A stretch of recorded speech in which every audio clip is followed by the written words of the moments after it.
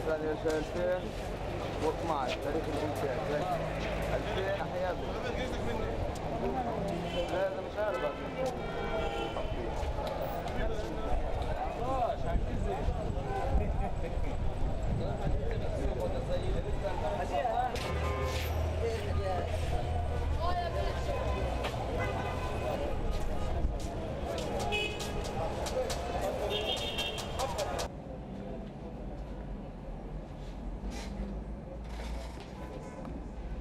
خطاب نتنياهو فارغ المضمون آه، مليء بالأكاذيب.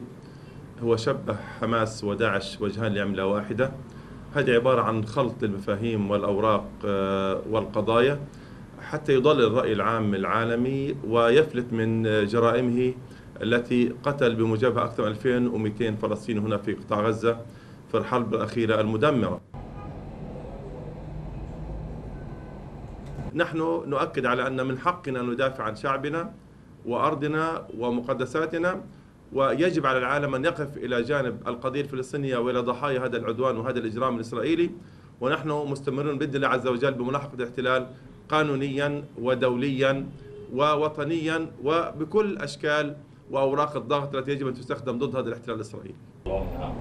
بيسان ضايلين وصوتهم تفرض في الحرب وفلت الناس. President Mahmoud Abbas has decided to award his.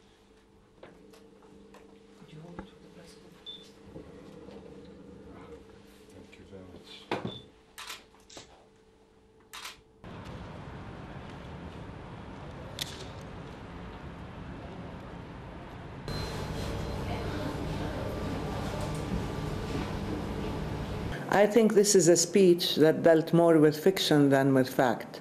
Uh, first of all, he clearly blamed the victim and tried to exonerate Israel from all uh, its actions, including war crimes and massacres and the death and destruction of countless Palestinians.